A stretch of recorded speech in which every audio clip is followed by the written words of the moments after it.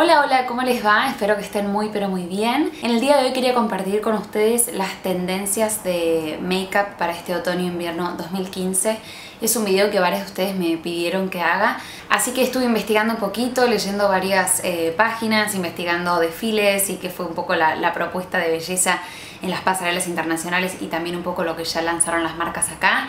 Así que mm, detecté como cinco tendencias bastante visibles y hoy las quería compartir con ustedes para que por ahí les sirva de inspiración al momento de eh, adaptar su make-up para otoño-invierno.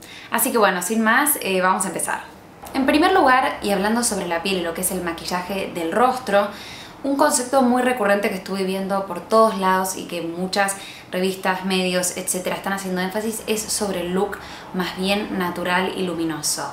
Es como una en inglés le llaman nude beauty, es como la belleza al natural lo más posible, pero de natural no tiene un pepino, obviamente. Hay varios productos que se usan para lograr ese efecto de piel eh, saludable y luminosa. Y para mí hay dos formas de obtener ese look. Por un lado, se puede usar bases con efecto luminoso, como por ejemplo la Wake Me Up de Rimmel, que es una suerte de copia de la farmacia de la Change Miracle de Lancome eh, también una que me encanta, que he probado recientemente, es la Anew de Avon, que también tiene como ese efecto medio perlado, medio luminoso para la piel, que quedan re lindas. Pero para lograr un efecto aún más natural, lo que yo hago es eh, rebajar la base o con un poquito de crema facial o bien como un primer. Van a ver en la demo que en el día de hoy eh, mezclé estos dos. Básicamente lo que hago es mezclar un poco de primer con un poco de base en cantidades más o menos parejas lo mezclo todo y después lo distribuyo con las manos por todo el rostro, el cuello y un poquito las orejas, en especial si tengo el pelo atado como hoy. Y me encanta el resultado, la cobertura es muy sutil pero unifica el tono de la piel y hace que se vea un poquito más radiante y luminosa.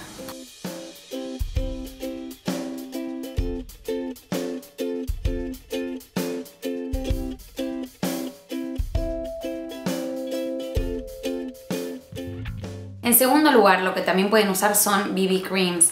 Eh, las BB creams en general tienen una concentración de, pigmento un poquito menor que la de las bases y vienen con factor de protección solar y en general tienen como un acabado dentro de todo bastante luminoso. Si ustedes están usando alguna que tenga como acabado más mate, lo que pueden hacer es lo mismo que, comentaba recién, o bien mezclarla con un poquito de primer. Hay algunos primers que incluso eh, tienen efecto luminoso para la piel, así que pueden, pueden hacer eso. O si no, después de aplicar la BB Cream, lo que pueden hacer es agregar iluminador en ciertas partes del rostro y lograr el mismo efecto.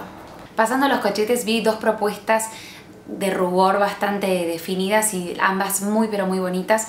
Una de ellas es un look bastante natural, usando rubores de acabado mate en tonos eh, terrosos, como este de BioGreen que se llama Nude Skin que lo vengo usando un montón y es el que me puse hoy y me encanta.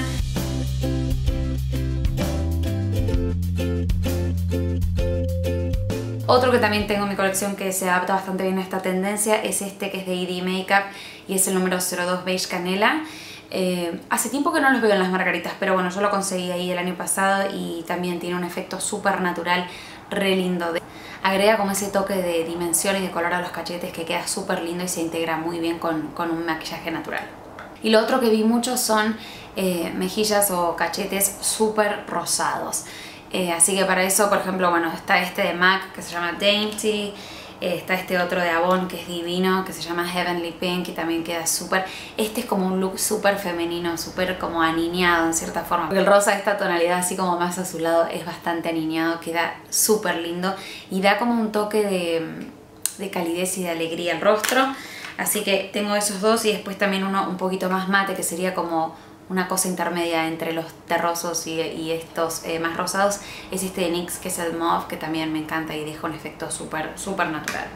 Pasando los ojos observé como dos propuestas. Por un lado algo como muy minimalista, muy net de la mano de las sombras de colores neutros. Esto es tierras, eh, color piel, una sombra clarita, eh, en general de, acabado mate. Y por otro lado lo que observé es muchísimo acabado satinado o metalizado de la mano de cobrizos, marrones, em, dorados y en algunos casos también algún plateado. Así que les voy a mostrar algunos de los productos que tengo yo para lograr ambos looks.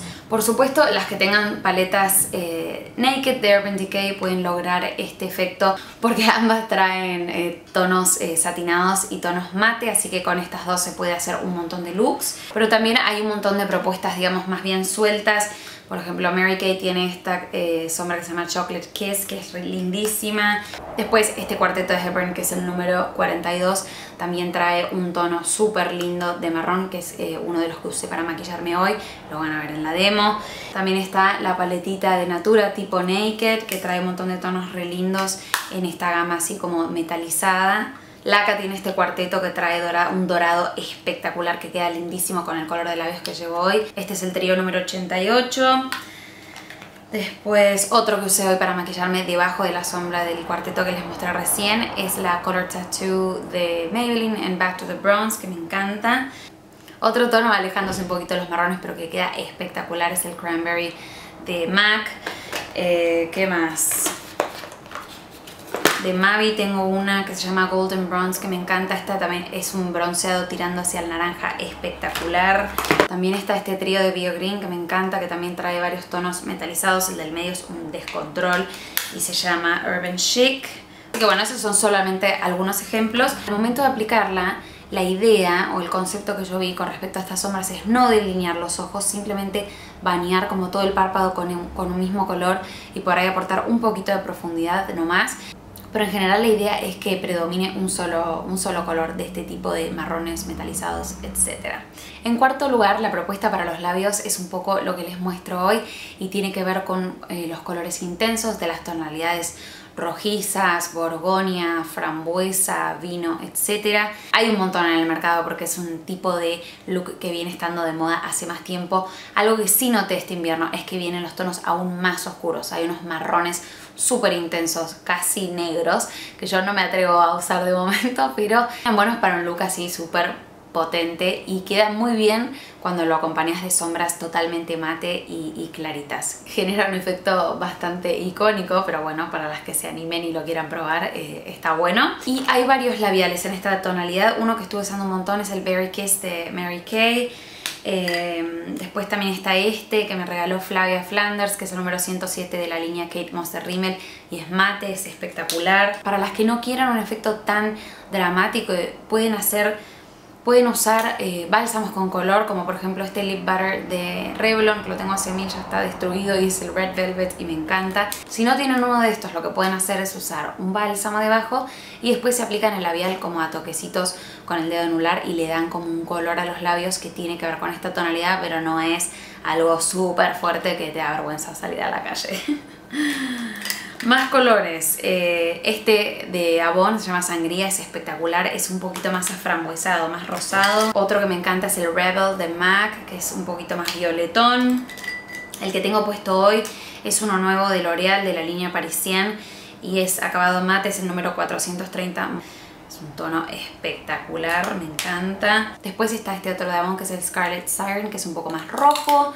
Después otro que vengo usando un montón porque los amo es este Chavi Stick Intense en el color Chunkiest Chili. Eh, pero bueno, cada cual puede encontrar el que le guste, la marca que le guste, básicamente el concepto creo que ya se entiende.